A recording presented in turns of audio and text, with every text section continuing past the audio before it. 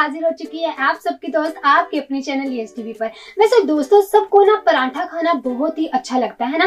लेकिन अगर हो पराठा स्टफ़ वाला तो और भी स्वाद आ जाता लेकिन कई बार कई महिलाएँ ना क्या करती है, पराठा बनाने से घबराती है, ज़्यादा स्टफ़ वाला। क्योंकि उनको ये होता है कि अगर हम स्टफ़ वाला पराठा बनाएँगे तो वो फट जाएगा और बहुत बेकार लगेगा। लेकिन दोस्तों, कुछ ऐसे हैक्स है कुछ ऐसी बातें हैं, जिन्हें जानकर हम अच्छे से स्टफ़ वाला पराठा बना सकते हैं। कौन सी है, वो मैं आपको बताती हूँ।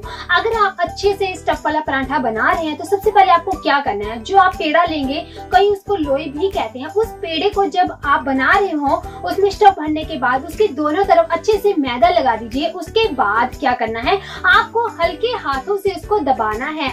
उस पर ज़्यादा बेलन जो है यूज़ नहीं करना। अगर आप ज़्यादा स्टफ़ उसमें आटे में भर रहे हैं, अपने पेड़े में भर रहे हैं, अगर आप साथ ही उसमें बेलन इस्तेमाल कर देंगे तो जो स्टफिंग है साथ के साथ बाहर निकल जाएगी। आपको क्या करना है? आपको पेड़ा लेना है, उसमें आप जो स्टफिंग कर रहे हैं उसको कीजिए और उसके बाद उसको अच्छे से कवर कर दीजिए। कवर करने के बाद आप दोनों तरफ़ मैदा लगा लेंगे और उसके बाद अपने हल्के हाथों से उसको राउंड राउंड शेप करके बनाएँगे। जब एंड हो जाएगा, उसके बाद आप हल्का सा बेलन फेर दीजिए। देखना जो आपका प्लांट है, बहुत ही अच्छा और ढाबे रेस्टोरेंट जैसा बनेगा और सब उंगलियाँ चाटते रह जाएँगे। और दोस्तों, आपको क्या करना है वो मैं आपको बताती हूँ। जब आप स्टफ़ भर रहे हैं तो ध्यान रखना, ज़्यादा नमक उसमें मत डालिए। अगर आप ज़्यादा नमक डालेंगे तो क्या होगा? जो स्टफिंग है, नमक डालने से उसका पानी जो है, ज़्यादा निकलना शुरू हो जाएगा।